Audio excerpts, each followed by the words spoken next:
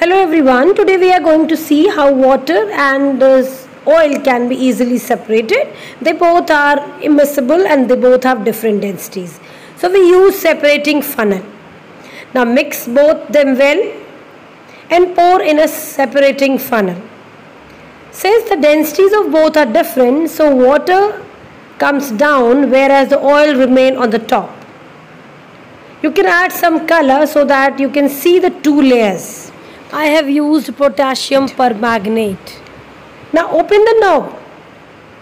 The water having more density will come first and you can easily separate water from oil.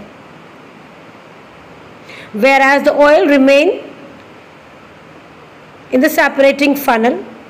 Now let's take another beaker and in this you can easily put and separate water. Thank you for watching.